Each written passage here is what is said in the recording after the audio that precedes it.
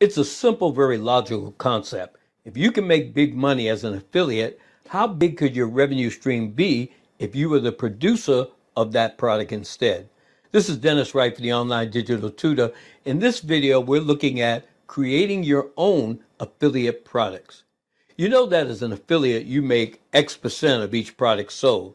Let's say you're earning a commission of, say, 50%. That means that you're not making 50% of the revenue generated from that sale. Someone is making just as much as you are. Now, yes, we'll give you this one point that someone is also paying the expenses of development and production and other overhead, but you can bet they've set their price at well above expenses. To be clear, we're not recommending that you go about creating your own products rather than become an affiliate. What we are recommending is that after you've established your business as an effective internet marketer, then you need to leverage your influence to promote products of your own and cash in by netting the biggest part of your sales. Now, let's talk a bit about how this can be done. Those affiliate products or developers you've been selling for may well be affiliate big dogs themselves. Now, if that's the case and your sales have been substantial for them, they'll likely be open to the idea of a joint venture or becoming an affiliate reseller of yours. Let's talk about the back end sales effect. What this private product creation strategy relies on is you having already established a foothold in the market inside your niche.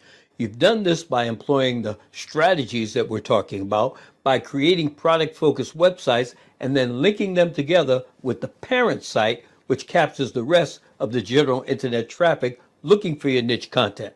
And now that you have everyone's attention, you can use it to upsell your returning visitors to your own products. Now, what might you sell? Much like the freeware products that boosted your traffic, you need to sell something that correlates with what you've been selling all along. But you do need to realize that your buyers will not go back in time. You can't just sell them on something simpler that they might have bought before.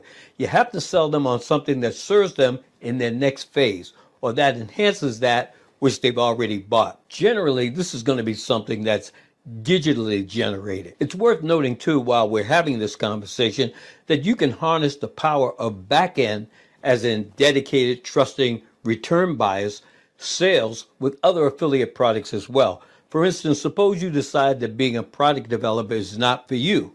You can group and upsell complementary products. Likewise, you can also reverse the strategy a bit so that you're first selling your product, an ebook, or something similarly easy to create, and then upsell to an affiliate product. But no matter how you decide to go about this, remember that it's all based on your established sales foundation.